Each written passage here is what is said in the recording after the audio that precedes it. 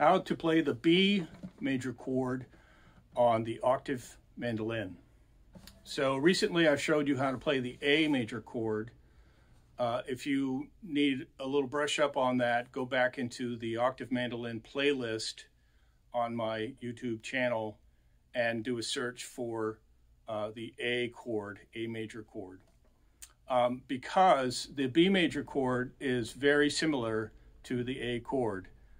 What you're going to do is uh, you're going to start with your first finger on the um, B note and uh, also first finger on uh, the F sharp on the D string. So both of those notes are um, found on the fourth fret, the G string, fourth fret G string, and fourth fret D string.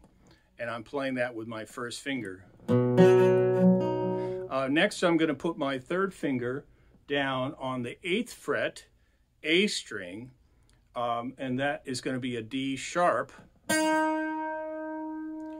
And so the chord sounds like that. Now that's a three finger chord, which means you can't hit the E string. If you hit the E string, it's going to sound weird, right? Some people might like that, but that's not the B chord. Uh, if you would like to play the E string, you can put your fourth finger down on the ninth fret, E string, and then get a more complete chord. That's a bit of a stretch for some people, which is why I don't recommend it for beginners. But if you want to practice that, um, you certainly can do it. And that way you have a nice closed chord or a movable chord, which uh, you can move around the neck for different uh, chords.